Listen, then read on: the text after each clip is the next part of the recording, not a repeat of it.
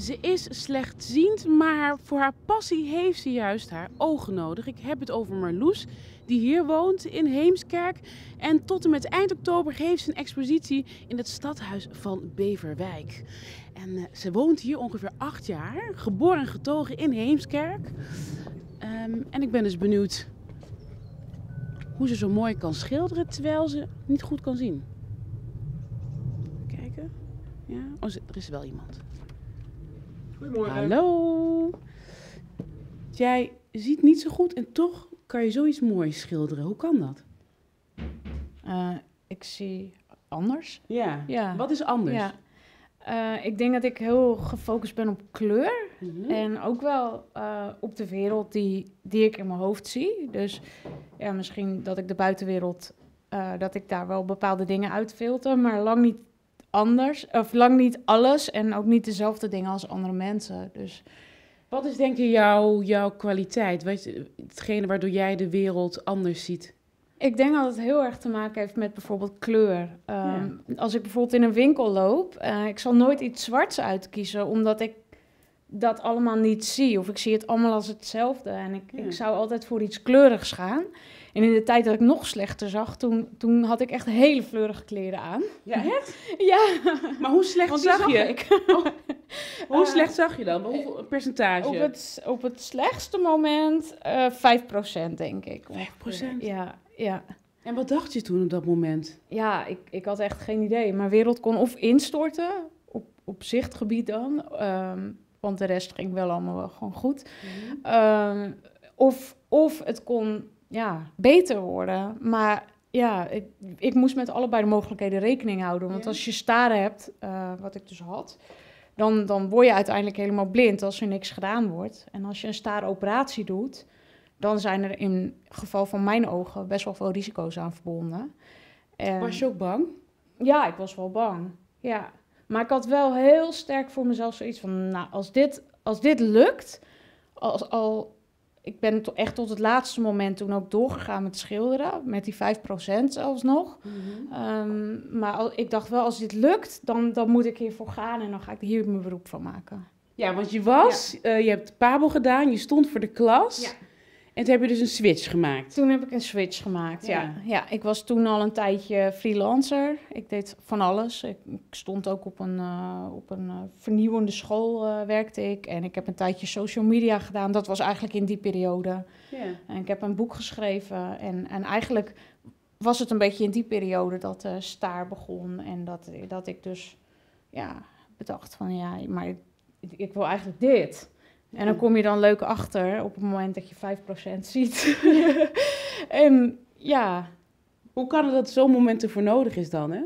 ja dat, ik denk toch dat, dat, eh, dat je dan beseft van, oh, ja, eh, dit, dit wil ik eigenlijk. Ehm, ik denk dat het hetzelfde is als mensen die, die eh, ja, doodgaan of bijna doodgaan of heel erg ziek zijn geweest. Je, je gaat gewoon je leven opnieuw evalueren en denken van, ja, maar wat, wat wil ik nou eigenlijk echt? Je, je doet eigenlijk al de tijd van wat anderen zeggen of, of wat je Ja. zelf denkt dat goed is of oh, ik kan daar niet mijn geld mee verdienen of ja. ik denk dat er ook wel een dieptepunt nodig is om eh, tot een bepaalde soort van eh, ja, creativiteit te komen. Of waar- waardoor er een soort bron open gaat. En, en waardoor je eigenlijk een soort kans krijgt van, van, van het leven of van jezelf. ehm, om, om, ja, om iets in jezelf eh, weer heel te maken. En dat is met schilderen gewoon heel vaak het geval. Je zit in een rotperiode, je maakt een schilderij en dat helpt. En dat merkte ik ook in de tijd dat het slecht ging. Dat schilderen hielp gewoon, hoe moeilijk het ook ging. Want, nou ja, Anthony heeft dan nog filmpjes van voor mij gemaakt en foto's. dat Ik echt zo zit te werken. En ik, ik leefde ongeveer via mijn iPhone. Dus ik, ik stak de straat over en ik keek zo naar mijn telefoon. En Anthony, weet jij dat nog toen, Ja, die periode? Hoe, hoe was dat? Nou, zij leefde haar leven dus door het zicht van de telefoon. Hmm. Zij kon zo slecht zien, maar wel vanaf een paar centimeter. Ze zat echt helemaal op het doek dus. Ja, en, en eh, ook als ze buiten was, eh, we waren op een gegeven moment in Italië, in Assisi. Ja. Eh, en toen zijn we moeten eh, terugkeren, omdat het gewoon echt niet ging met al die trappetjes. En ja, Marloes keek dus alles door de telefoon. En dat was... eh, en door mij inderdaad. Maar is ze veranderd sinds ze haar eh, dromen is gaan najagen? Ja, veranderd. Ik denk niet dat Marloes echt veranderd is eh, als persoon. Maar wel door zeg maar, zich volledig te kunnen geven voor de kunst. Dat, is, dat is echt een hele positieve wending geweest, denk ik. Ja, want als we naar de kunst kijken nu, wat je voor je hebt. Wat wordt dit? Ik zie volgens mij een natuurlandschap. Ja. ja, het wordt eigenlijk een abstract landschap. Eh, een beetje zoals het schilderij eh, wat erachter is, alleen dan met andere kleuren. En voor mij hoeft het niet iets per se te worden.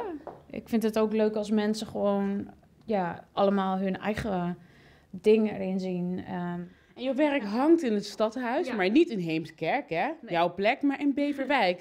Wat is eigenlijk de verhouding tussen Beverwijk en, en Heemskerk? Hoe zit dat? Eh, ja, meestal eh, zijn er allemaal van die mensen die... eh uh, Beefwijkers zijn leuker en Heemskerkers zeggen Heemskerkers zijn leuker. Ja, En- echt? Ja, ja, ja, het is altijd een beetje zo'n Competitie. competitie tussen twee plaatsen. En eh, ja, ze willen ook absoluut niet eh, eh, dus samengevoegd worden. En eh, dat gaat ook geloof ik niet gebeuren, maar dat is wel een tijdje... eh, was het, was het ter sprake. En deze plek, Heemskerk, heeft ook invloed op wat de dingen die jij maakt? Ja, zeker wel. Ja? Ja? ja, als ik zelf mag kiezen tussen ga je in Beverwijk schilderen of in Heemskerk, dan ga ik liever in eh, Heemskerk eh, fietsen of fietsen de natuur in schilderen. Omdat wij gewoon, ja, vind ik, mooiere natuur hebben, meer natuur hebben. We hebben de duinen, het strand, zee. ehm, We hebben hier twee kastelen. Dus daar heb ik van de zomer ook een paar keer geschilderd met eh kunstenaar-collega's. En eh, ja, dat is, dat is gewoon heel erg inspirerend en eh, leuk om te doen. Maar dat lesgeven doe je nog steeds? Ja. Ja. Jij geeft ook nog les in schilderen, volgens Ja. mij, hè? Ja, in tekenen en schilderen. En waar Ja. doe je dat? Ik doe dat hierboven in mijn huis. Mag ik dat zien? Ja, natuurlijk. Ja, wat, wat voor lessen geef je dan? Ik geef lessen voor kinderen en voor tieners en voor volwassenen. En ik heb op maandag iemand die ik begeleid, eh, die heeft eh, syndroom van Down. Ja, en ik geef eigenlijk van alles. Ehm, we hebben een afwisseling tussen schilderen en tekenen vaak. En dan zijn het, eh, ja, allerlei. Vandaag is bijvoorbeeld het thema een beetje herfst. En dan gaan we, dan mogen ze kiezen wat ze gaan aquarelleren. Dus bijvoorbeeld een eikel of een druif. En daarna mogen ze daar nog wat mee doen. oh, dus daarom staat het allemaal ja, op tafel. daarom staat het allemaal op tafel. En dan, Ja. als je dan gaat kijken, jij als uitvoerend kunstenaar of lesgeven, wat, waar krijg je nou het meeste energie van? Van allebei. Ja? Ja, ja, ja. Ik heb het echt nodig om, om ook onder de mensen te zijn. En ik vind het ook heerlijk om te creëren. En het vult elkaar eigenlijk prima aan. Dus alles is fijn. Ja, Ja. ja. Nou, dankjewel. We zijn aan het einde gekomen van eh Buurten. Bedankt voor het kijken en tot volgende week.